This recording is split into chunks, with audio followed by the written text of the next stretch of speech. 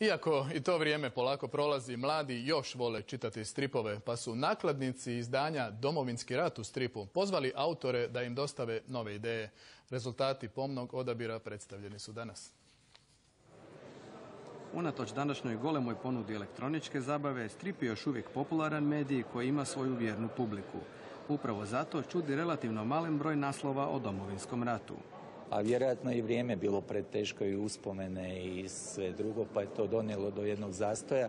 Autor naslovnice legenda je našeg stripa. Smatra da je previše osobnih priča bez prave šire poruke. Nije bilo adekvatno prikazano, nije bilo dobrih priča, pravih priča, ratnih. Ratno vrijeme obilježio je Dubravko Mataković svojim oštrim stripovskim komentarima. Najviše stripova objavljeno je u Vjesnikovu plavom zabavniku. Taj je zamah s početka 90. godina, nažalost, kratko trajao.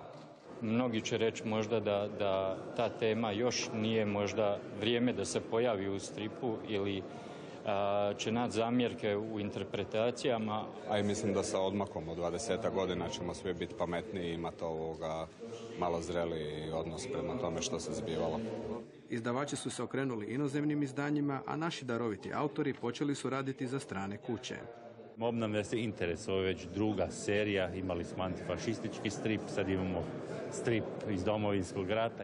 Domovinski rat neprosušno je vrelo tema, a strip je izvrstan medij za dopiranje do čitatelja koji se tada još nisu ni rodili.